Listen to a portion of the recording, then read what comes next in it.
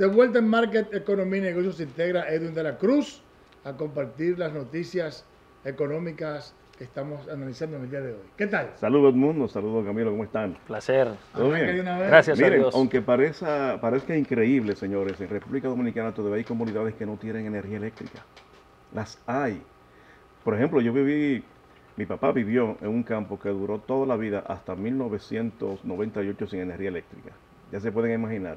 Y miren este caso que se presenta, y es que la empresa Edesur Dominicana electrificó la remota comunidad de las Yayitas en Peravia a través de un proyecto que influirá directamente en el desarrollo de más de 300 familias y de microempresarios ecoturísticos, quienes tras 40 años, 40 Oye, oye. años de espera, podrán al fin contar con el servicio de energía eléctrica formal y de iluminación de sus caminos. El sur tiene las puertas abiertas y que cada vez que usted vaya a una comercial o requiera un servicio o algo, nosotros tenemos que darle el trato que ustedes se merecen. Yo quiero que ustedes sepan que también queremos acompañarlos en el desarrollo de la electrificación y las necesidades de iluminación que ustedes tengan en sus diversas comunidades. Además, impulsará el desarrollo del ecoturismo de Baní y contribuirá con el cuidado del medio ambiente debido a que los microempresarios no tendrán la necesidad de encender decenas, decenas de plantas eléctricas, ni los vecinos usar velas o lámparas artesanales con mecheras. Dios no mío. es verdad que donde no hay electricidad o no hay agua puede llegar el progreso. No, prospera un país ni una comunidad. Y hablando precisamente, Eh, mencionó a mí la... se me hace eh, eh, extraño cuando aquí dicen que somos un país de crecimiento medio, de mediano, mediano avance, porque un país que tiene todavía, por ejemplo, la WORS, eh, en, en la gestión de... la Telma Eusebio. Eusebio, A cada ratico electrificado, eso Claro, quiere decir claro. que, se- que tenemos una deuda social con, con lo que tiene que ver con la electricidad tremenda. Y ahora lo está haciendo muy bien también en el Milton sur. Morrison. Lo está diciendo En el Milton Morrison, pero no, no cabe duda de que cuando hay algunos, algunas, algunos términos, algunas connotaciones que nos dan a nosotros de economía en mediano desarrollo, en mediano crecimiento, avan- media avanzada, Sin yo no lo entiendo. no hay nada. Porque en, en electricidad no puede haber crecimiento. No, No, Así es, puede claro. haber que- desarrollo. Claro que no, claro que no. Y precisamente hablando del mundo de ecoturismo, como hablaba el compañero Edwin, hay que decir que el presidente Luis Abinader ha mostrado la voluntad de desarrollar ese anhelado proyecto turístico en la región sur del país, específicamente en Pedernales, ¿no? Yo creo que eso es interesante, pero dice que el acceso a los lugares de atractivos naturales allí, pues no están en condiciones para transitar. Nosotros nos trasladamos hacia allá a través de nuestro compañero Domingo Mejía, quien ha preparado un reportaje al respecto. Veamos. Ciudadanos de la provincia de Pedernales demandan de gobierno la construcción de la carretera Puesto Escondido Duvergé, el Acetillar Los Arroyos y Enriquillo Polo Barahona. Cuando venimos de Duvergé hasta Puesto Escondido, se puede notar que está pavimentada la carretera, pero tan pronto salimos camino a los parques nacionales, al aguacate, eh, buscando la carretera para las cuatro bocas, Polo Pedernales, es un desastre. Los municipios de Pedernales se encuentran esperanzados con el anhelado proyecto turístico de la región sur. no solo es mejorar las condiciones ahí de Bahía de las Águilas con respecto al acceso a las playas, a las playas tan paradisíacas que tiene la provincia de Pedernales, sino también otra parte muy interesante del punto de vista de la ecología y es una vía ecológica, es la carretera que conecta precisamente con la zona de la olla del lago Enriquillo, es decir, la vía panorámica Cabo Rojo a Ceitillar, que al final ya cuando termina el pavimento llega hacia en la zona de Pelempito, a la izquierda, en la bifurcación hacia la izquierda, entonces conecta pasando por Canote con Puerto Escondido. Le hacen un llamado a las autoridades de tomar carta en el asunto y arreglar las carreteras con acceso a las playas y a las montañas. las que tienen que ver con las entradas, las que le van a la vida al ecoturismo, a, la- a las, a las diferentes montañas, para que el, el- el turismo se ha dividido en diferentes partes, el que viene a la playa, pero también el que viene a las montañas, el que quiere cruzar, el que quiere experimentar haciendo cruces de un lugar a otro. Esa es toda la información que tengo desde Pedernales. Gracias, Domingo. Fíjense en una cosa. Precisamente ayer hablábamos de eso y yo creo que esa es la importancia de la denominada alianza público-privada. El gobierno invierte en los servicios públicos y eso estimula a que se haga la inversión privada. Por ejemplo, de seguro que cuando se hace el, denominado análisis FODA para ver la factibilidad de la inversión turística en Pedernales, hay que hablar de los servicios de agua, de salud, de carretera, caminos vecinales, etcétera, etcétera. Si eso no, no está ahí, no es verdad que va a llegar la inversión extranjera directa. Por ejemplo, ahí hace falta puertos, aeropuertos, una carretera parecida a lo que se hizo con la del Coral, Así para llegar rápido. Eh, que la energía eléctrica sea de alta calidad, que el agua potable sea de alta calidad, que los servicios básicos se, se sirvan de manera natural. Entonces, esa es la parte que le va a tocar al gobierno en la denominada alianza público-privada, para que luego, para que luego el sector privado invierta en, en el turismo. Yo creo que si eso se logra de una manera concomitante, por un lado el Estado invierte de manera agresiva y por otro lado el gobierno eh, hace las inversiones públicas. Entonces veremos dentro de un tiempo relativamente corto Pedernales eh, siendo una, un verdadero oasis Una meca. del turismo, una meca del turismo. Así es. Porque las condiciones naturales las tiene de sobra, Así de es. sobra las tiene. Tanto que da hasta pena. Así es. Que no se pri- No se Eso es verdad, eso es verdad. Tendremos un Pedernales totalmente distinto y lleno de, de muchos turistas. Miren, la Liga Municipal Dominicana, la Federación de Municipios y el Instituto Nacional de Atención de la Primera Infancia firmaron un acuerdo de colaboración con el objetivo de fortalecer el rol de los gobiernos locales en la presentación de los servicios sociales dirigidos a la primera infancia. Usted sabe que el INAIPI trabaja por la intención, por la inversión integral de las niñez. Este, y la Federación Dominicana de Municipios y la nueva Liga Municipal Dominicana somos, digamos, los impulsores del cumplimiento de las políticas públicas en los territorios y hemos hecho una articulación para trabajar en varios aspectos en lo que tiene que ver con la niñez. Cuando invertimos en la niñez, los funcionarios públicos no deben pensar que están haciendo un gasto, sino que justamente están haciendo una inversión muy importante para el futuro.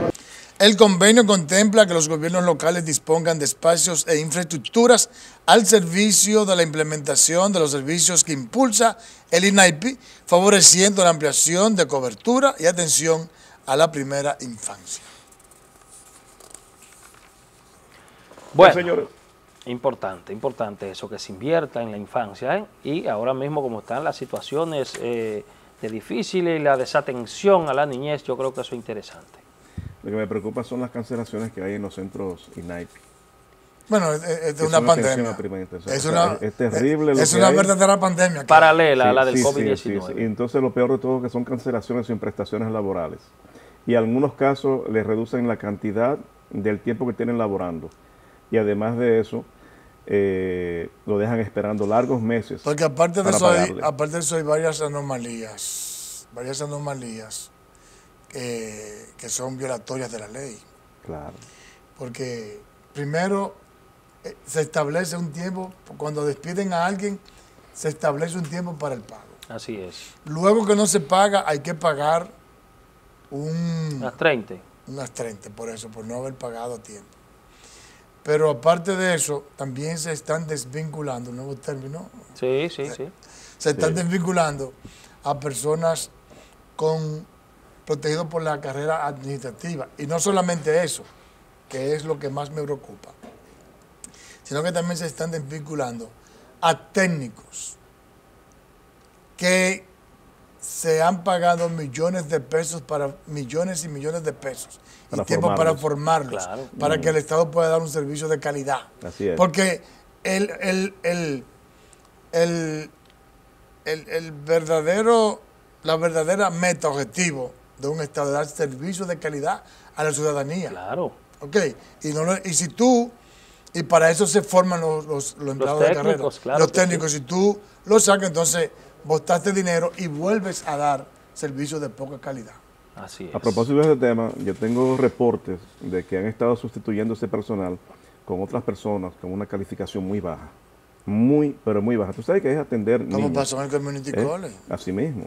Niños eh, de primera infancia que, Empezaron a meter locos viejos ahí. que necesitan psicólogos, inclusive. Hay personal médico, hay personal de, de psicología, personal incluso hasta docente, preparado para esa edad, que lo están sustituyendo por personas. Me llegó a decir alguien que algunos no saben ni siquiera escribir. ¿Qué te habla la verdad que es eso? para que sepa. Y a ese tema que estamos tocando, añádele también las cancelaciones de aquellas personas que ya están con el tiempo de pensión y lo despiden sin ningún tipo de, de solución, con más de 20 años en el Estado. El que tiene 20 años en el Estado trabajando necesita una pensión, aunque sea una pensión especial. Claro. Bueno, señores, miren, otro tema eh, dramático por lo que ha estado pasando la República Dominicana son los fallecimientos como consecuencia de las bebidas alcohólicas adulteradas. Más de 35 personas ya han sido reportadas porque bebieron eh, supuestamente clerén eh, combinada con etanol, etcétera, etcétera. Eso ha despertado que las autoridades realizan una serie de investigaciones. En este tenor, el director ejecutivo, el recién estrenado, del Instituto Nacional de Protección de Derechos del Consumidor, Eddie Alcántara, anunció que este organismo estará aplicando medidas drásticas y contundentes a los propietarios de bebidas alcohólicas que se compruebe que son bebidas adulteradas y dijo que están trabajando de manera activa y firme para identificar esos establecimientos que incurren en esa práctica ilícita e ilegal. que de acuerdo a lo que establece nuestra normativa, nosotros le vamos a aplicar las sanciones más drásticas que existen en nuestra legislación. A todo aquel comercio a lo que nosotros podamos detectar después que el Indocal nos certifique que están bebiendo bebidas adulteradas, vamos a proceder con el cierre definitivo del comercio y vamos a tramitar como establece la ley el expediente al Ministerio Público para que proceda a hacer las imputaciones penales establecidas por el Código para que sean sancionados jurídicamente. Alcántara explicó que desde la semana pasada vienen realizando amplios operativos en el Gran Santo Domingo y el pueblo del interior, en lo que han sido inspeccionados de oficio 219 negocios en busca de bebidas alcohólicas adulteradas y productos no aptos para el consumo humano. Increíble que se permita que unos leones estén haciendo dinero. Leones afeitados. Sobre la base de matar a la gente. Eso es peligroso. Porque te voy a decir una cosa. Nosotros hacemos y nos alteramos, con razón, cuando hay un feminicidio Así es. O un- algún tipo de crimen como este.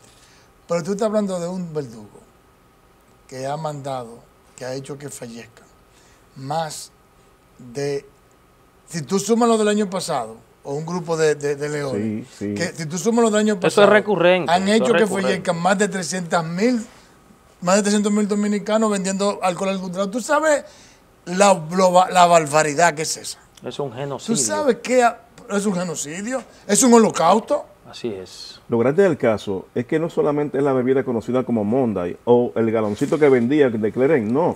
Son bebidas que están etiquetadas Así es. con un sellito, No, porque- con un sellito porque- de impuesto que le ponen en la tapa. Ahora, yo, yo lo que me pregunto aquí, yo lo que me pregunto aquí, yo me pregunto, ¿cómo es que una persona fabrica, envasa, distribuye, incluso hasta allá había hasta unos carritos para ir a distribuir en la calle, Claro. y no haya ninguna supervisión? ¿Pero ¿y qué, es lo, qué, qué, qué, qué pide el, dia- Porque diablo en contubernio con autoridades. ¿Qué pide el diablo este? Anuencia con Sí, porque- autoridades. porque yo tengo que que es un pensar- próspero negocio. Tengo que pensar que son autoridades, porque fíjate una cosa, no aparecen los dueños. No. Ahora yo te voy a decir una cosa. El guachimán, si lo agarraron en no Puerto Plata, el. Yo te guachimán voy a de la algo. compañía. Yo te voy a decir algo. Yo no sé, no hay que ser un científico de la investigación para determinar lo siguiente. Hoy tú no estás, tú estás fabricando en, en una- en un, en un lugar.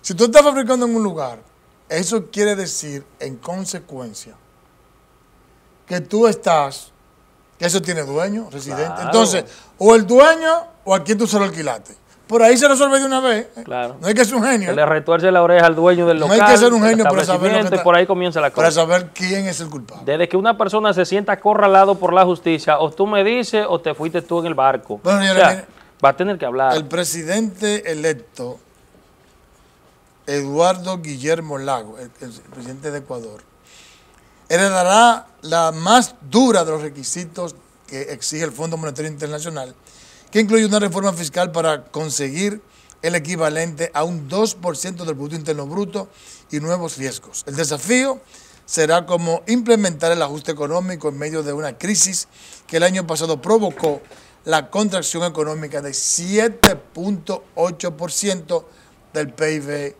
de Ecuador, algo parecido a lo que pasó en la República Dominicana. ¿Qué cuesta más inclinada esa para él? Sí, mira, por cierto, eh, el, el nuevo presidente de Ecuador y el presidente de República Dominicana se reunieron.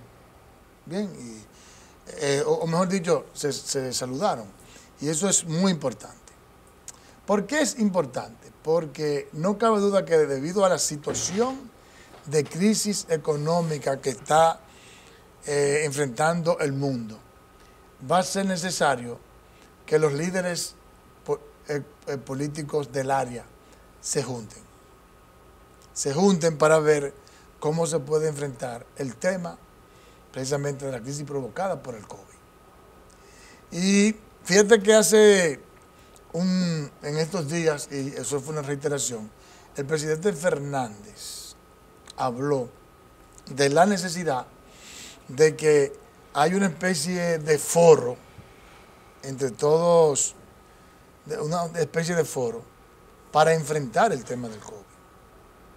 ¿Entre quién? Bueno, entre los líderes políticos del área, para que eh, se logren los recursos y financiamiento que se amerita para enfrentar la situación, porque entiende el presidente Fernández que con lo que se está, con cada país de manera individual no va a poder enfrentar eso, porque es una crisis demasiado fuerte.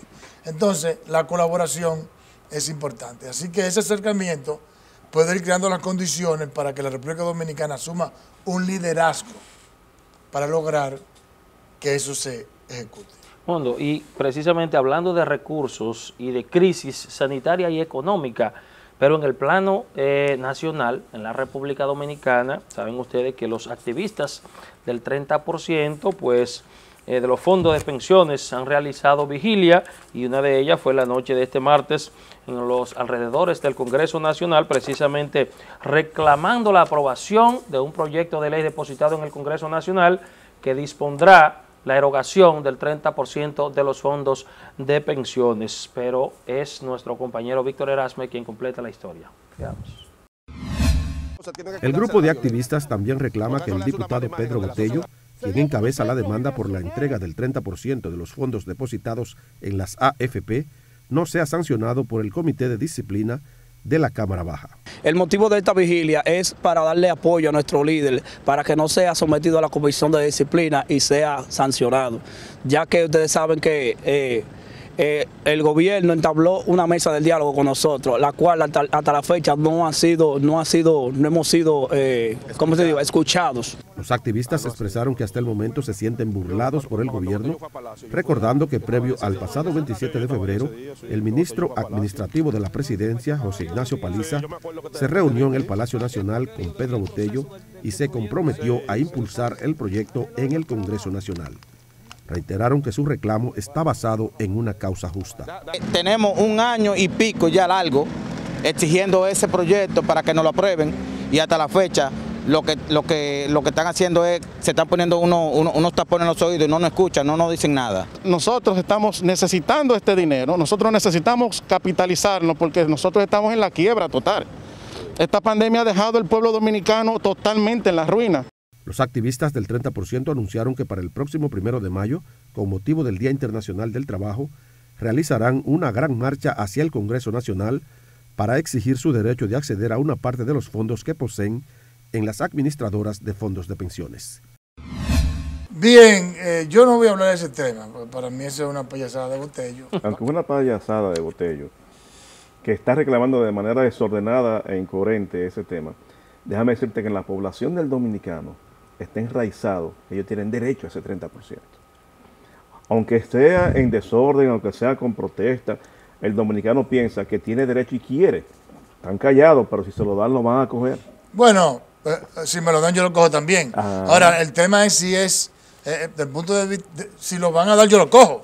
Porque ya si se hizo mal, pues que sea mal para todo el mundo. Pero el tema no es eso, el tema sí es el punto de vista económico, el punto de vista, primero económico, factible, el punto de vista también, oye, otro, tema, desde el punto de vista, eh, el punto de vista... Es que no, no va a haber, Edmundo, entonces, si, ero- si se eroga el 30%, que es una cantidad ínfima, eso es unos cheles, una Bueno, chilata. el punto, estoy hablando, desde el punto de vista económico, desde el punto de vista jurídico, desde el punto de vista de solidaridad, si es lo adecuado.